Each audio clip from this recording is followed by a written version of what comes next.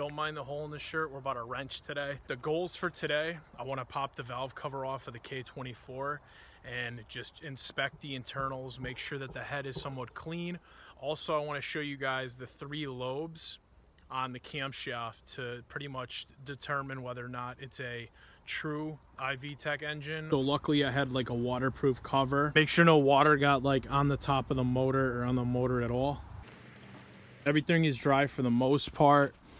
There's a little bit of condensation and moisture up on the top here, but I don't think that's gonna kill anything. To get the valve cover off, honestly, it's pretty simple. All we need to do is remove this top cover, we got to remove all these are 10 millimeters you got three on the front four on the top two in the back right there so once we remove all those uh, and probably a few other things we can just pry up on the side here and then we should be able to crack the valve cover so that we can see the internals how everything looks the timing chain it sucks because i have to do this all manually because i can't find my freaking adapter my half inch to a 3 eighths adapter for my Ryobi. So that's going to take a little bit longer.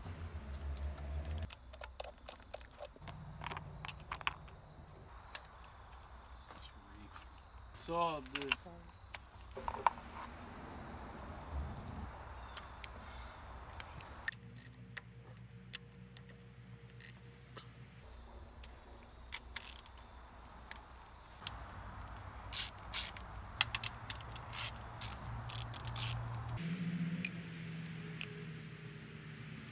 don't want to lose any of these uh, these little 10 millimeters or we don't want to lose any grommets or anything drop nothing on the ground because we'll have sand and contamination.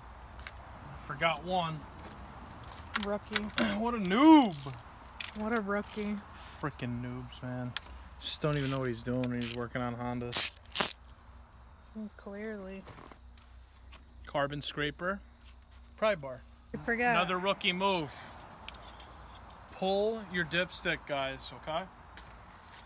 Wow, two rookie moves. Two rookie moves, guys. This should just be banned from the K-Series gang. Already. Okay, that's prying off. First episode in the series and you're already messing up.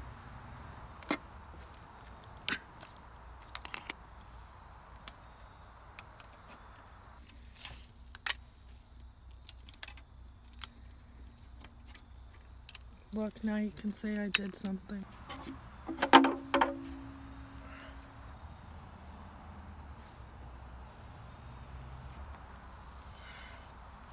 Let's see it.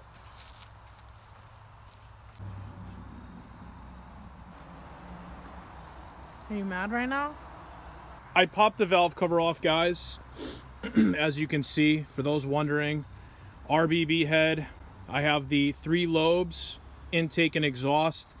That's how you can determine it is a true iVTEC head. You can see everything's clean. It's the RBB VTC. I'm kind of like a little annoyed right now because I mean, even though it is clean in some spots, you guys can see that there is some sludge buildup down below right there, but I don't think it's going to like kill anything, but then again, I thought it was going to be a little bit cleaner on the inside. I mean, a little bit of TLC, I guess things thing will clean up. Maybe run some synthetic, but I will tell you off the bat, I'm not messing with, I'm not just going to throw this thing in there and not do a timing chain or a timing chain tensioner. And I'm probably going to do guides. Um, I definitely have a beefy lower guide that I'm going to show you guys in some like other videos, but I'm definitely going to be doing the timing chain and uh, yeah, making sure everything is up to date here. Getting cam pins, guys, the cam pulse plates back here so I can do the timing myself without anything moving. So you're to get the two, I'm getting the two pins that insert into here on each side of the pulse plates. There's a little bit of sludge down in the back there. I mean, on the plus side, guys, this thing was super, it was cheap kind of and um, you know it is a true VTEC obviously you guys can count the uh, the lobes camshaft right here you got the intake in the front obviously and then the back is the exhaust so apparently on the uh, the Odyssey Absolutes and the TSX K24A2s the exhaust cam is superior, but the intake cam is less. And I don't know if that has anything to do with the VTC, but I can always do like a little hybrid if I wanted to rip the K20 Z3 apart, but I can swap the um, the Z3 camshaft. But I really think all I'm gonna do is swap out just the VTC right there. There's a little bit of sludge on the bottom there, but you guys can see, I mean, the camshafts look good. I pulled out a couple spark plugs.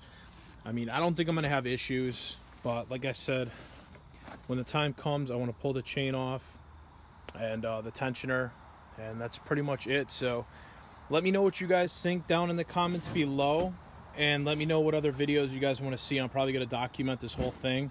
So shoot your comments down below, guys, and be sure to give me a like. More videos coming for you soon. Got the K24A right here.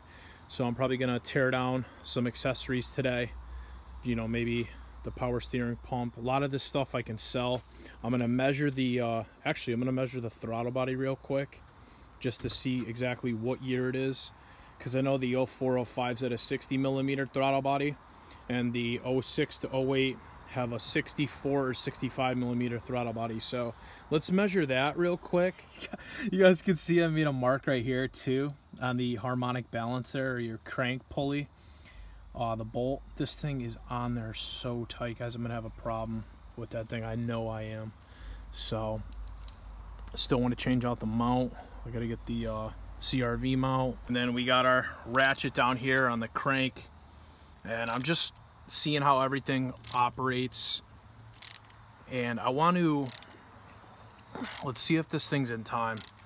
So to pretty much time a K-series, I've done this like once or twice.